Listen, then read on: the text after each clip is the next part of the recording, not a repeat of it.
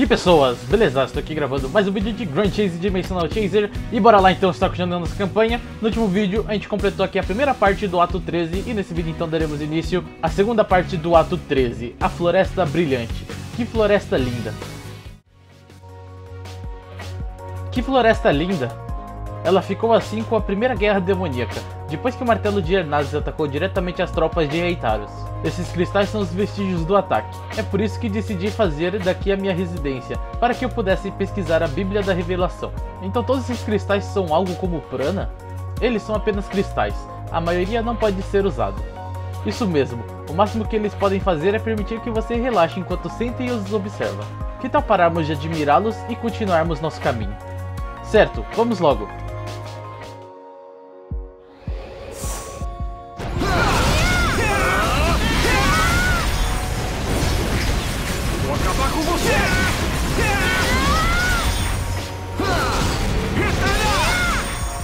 Quem são eles? Eles são soldados de Kaunat? Parece que sim, eles devem ter vindo nos capturar.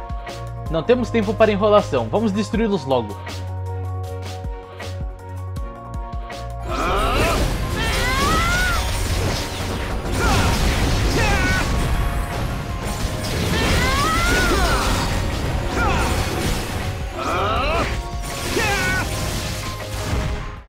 Hum, eu estava pensando, como é o reino que eu criei. Pensei que você não tivesse acreditado. N não, é só que eu só estava curiosa. A rainha e o povo se amam e confiam um nos outros. Ao invés de ficarem se culpando, eles se respeitam e tomam conta um dos outros. É um lugar maravilhoso. Isso é verdade? Eu gostaria de ver isso. Gostaria de ver esse tipo de reino. Tenho certeza que você verá.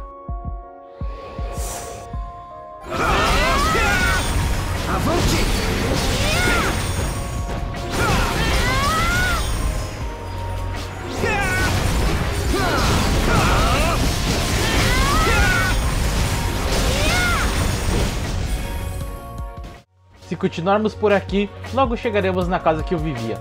Ah não, o eu desse tempo ainda vive lá. Apesar de terem passado 1500 anos, você ainda se lembra bem. Se fosse eu, eu já teria esquecido tudo alguns anos depois. Isso é verdade.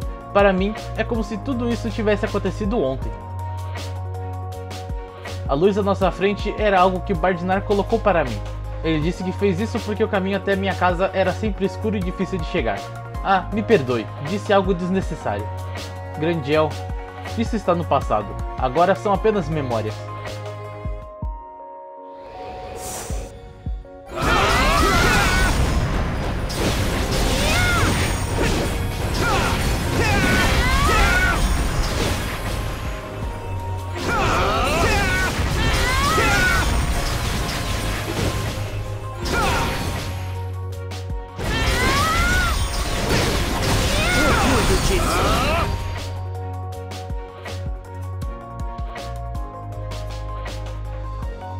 Finalmente peguei vocês.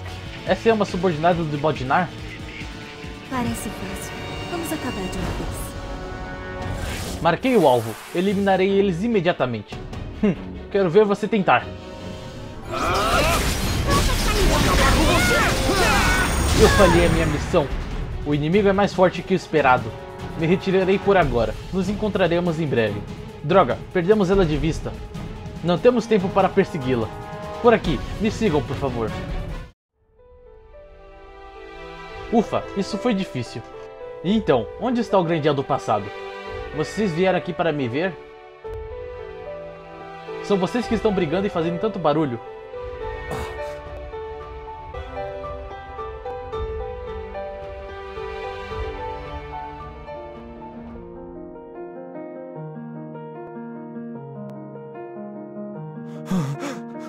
Não.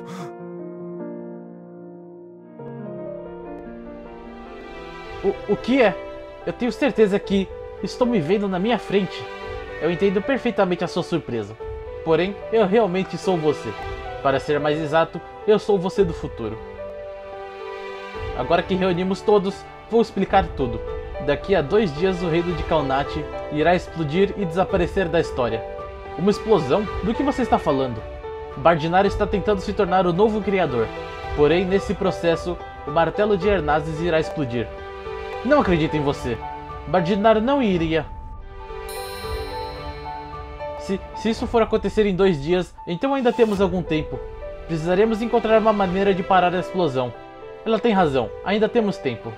Não há nenhum jeito de impedir a explosão. Por mais infeliz que seja, Kalnat tem que explodir. Do que vocês estão falando? O martelo de Ernazi já começou a funcionar. Se ele não explodir, Bardinar se tornará o novo criador. E o mundo que conhecemos irá acabar. Eu não entendo.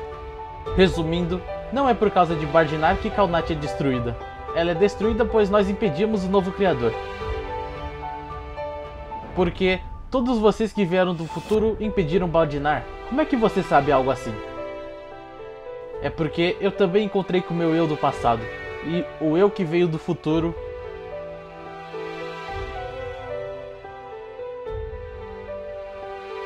Mari, ela deve ficar bem agora. Cindy está com ela. Ouvir que não podemos parar a explosão deve a machucar demais. E para piorar, estamos lutando para que Kalnat exploda. Nossas únicas opções são deixar que Kalnat exploda ou a destruição do mundo. Como isso é possível? Realmente não há outro jeito. Não, não há. Talvez se pudéssemos ir um pouco mais para o passado, então poderia ter havido uma maneira, mas agora não tem outro jeito. Antes de tudo, precisamos evacuar o povo de Kalnat. E então, este povo irá cruzar o mar até Vermécia e formarão os reinos de Canaban e Serdim. Ufa, então ainda poderemos salvar as pessoas. Isso é um alívio. Sinceramente, eu pensei que se a explosão não acontecesse, a história iria mudar. Mas se isso acontecesse, os reinos de Canaban e Serdim não existiriam. Porém, eu não acho certo ficarmos parados enquanto tanta gente morre. É bom saber que há um jeito de salvar o povo de Kalnat sem mudar a história. Ótimo, nós vamos parar a destruição deste mundo a todo custo. Com licença. Algo que eu precisava falar só para você. Diga, as pessoas que vieram do futuro comigo, elas irão lutar com o Bardinar e impedir a criação do novo criador. E então, e então, todos eles irão morrer juntamente à explosão. Todos vão morrer? Essas pessoas? Por que você não contou a eles a verdade sobre algo tão importante? É porque ainda há uma chance deles não morrerem. Eu não quero confundi-los com uma verdade que ainda não foi determinada. O que você está dizendo não bate. Você já viu as pessoas do futuro morrerem. Isso não significa que essa verdade não muda. Embora não seja fácil para mim explicar, nem tudo que eu tenho vivenciado é o mesmo que o eu do passado tinha vivenciado.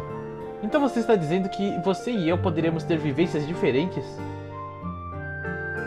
Das pessoas que eu encontrei no futuro, Caio não estava lá. Ele já havia morrido pelas mãos de Belili na Floresta da Vida.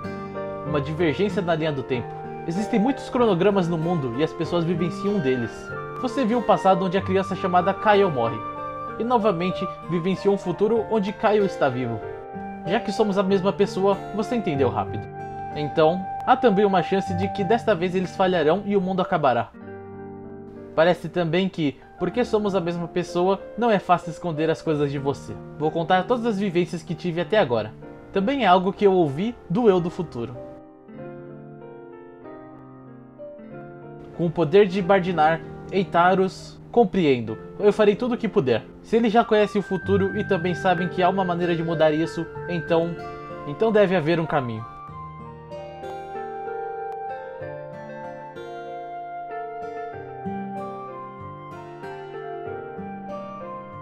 Eu espero que você consiga.